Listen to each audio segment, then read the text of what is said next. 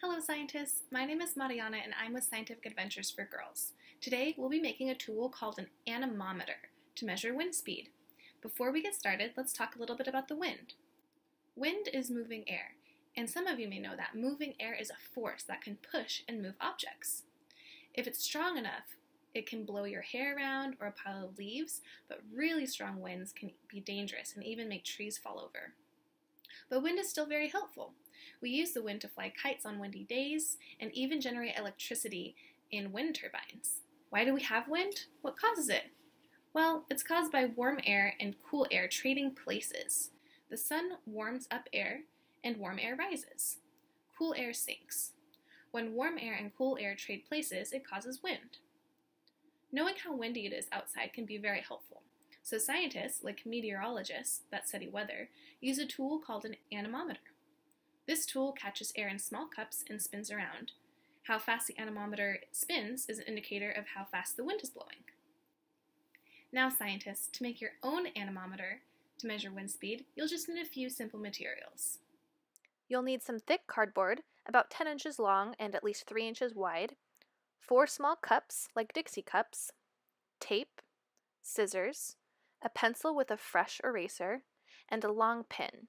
A safety pin or paper clip works too. If you don't have small cups, you can use these alternatives.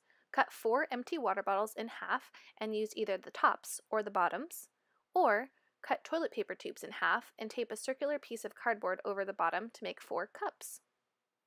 To start building your anemometer, first get your sturdy piece of cardboard. You want it nice and thick so it's sturdy and can hold up in the wind.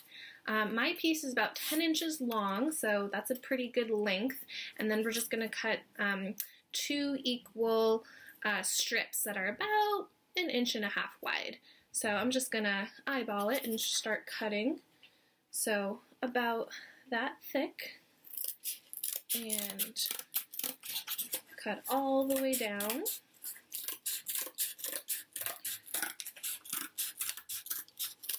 There we go.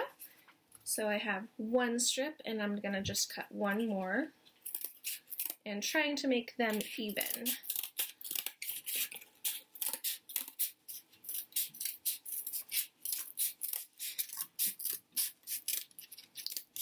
There we go. So I have two strips of sturdy cardboard and now I want to make a perfect With them. So you can do this with a ruler, but I'm just going to eyeball it right in the middle and then twist them to make a perfect X with 90 degree angles. You don't want to make it like that because your anemometer won't spin correctly. And you don't want to make the middle way up here, it won't spin properly either. So line them up, find the middle, and then twist. That's pretty good. And now I want to tape them so it stays nice and secure. And I'm going to use duct tape because it's really strong, uh, but you can use any type of tape. So just taping the edges here, right there, right there, and then the other side,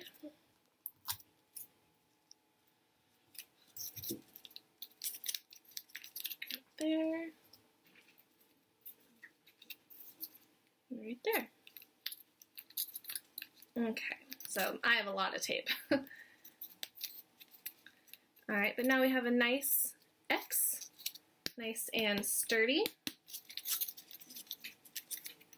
So now we're going to tape our cups or our cylindrical um, shapes to the end of our uh, each little cardboard piece. Um, I'll show you with Dixie cups and I'll show you some other examples that I've made uh, later in this video. So I'll just use some scotch tape for this. And I want it right along the edge, right there, and put some tape Okay, but I don't want it to be floppy. So I'm going to put another piece of tape right here. There we go. So now it doesn't fall off. So I have tape on the front and on the back right here. So I'll do that three more times, but I need to make sure that my cups are facing the same way. So if it's facing this way, the next one will be this direction. Again, right along the edge.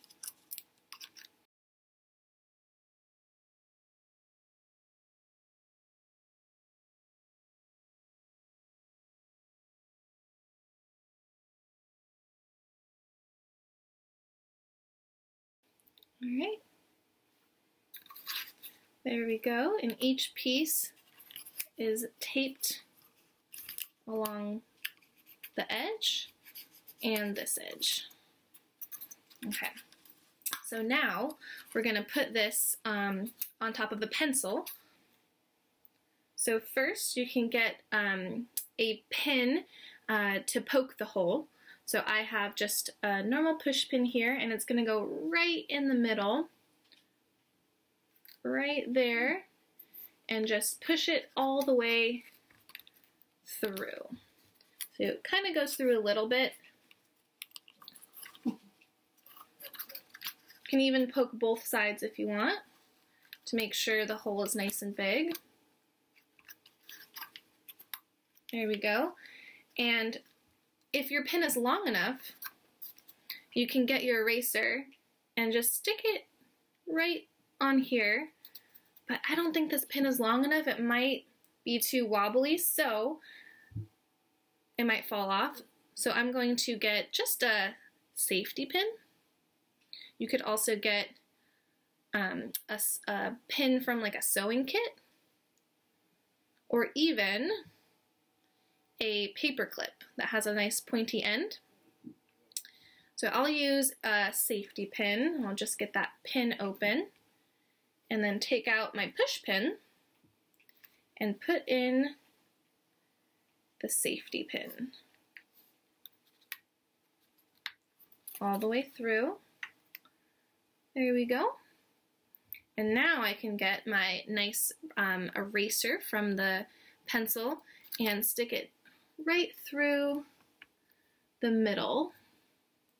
See if you can see that right there.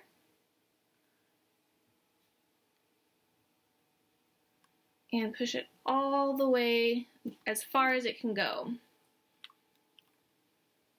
So it's nice and secure inside. All right, so now this anemometer should be ready to test out.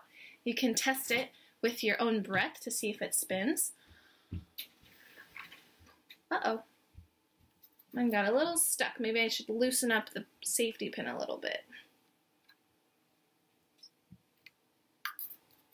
And it's a little bit lopsided. Maybe that means um, my cardboard pieces weren't even, but that's okay. You can just try to do your best. You can rebuild it like a scientist. They need to rebuild something if it doesn't work the first time, or see if you can fix it.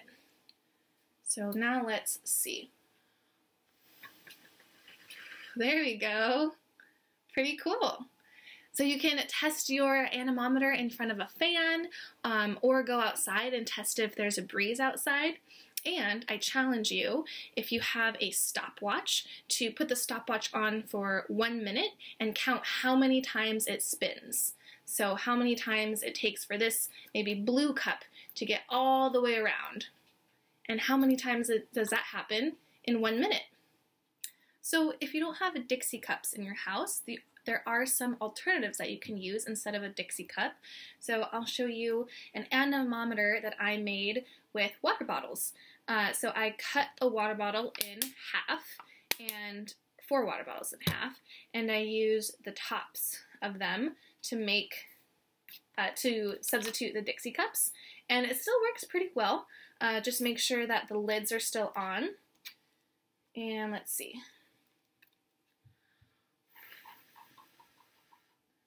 There we go. And of course, you can decorate this as well.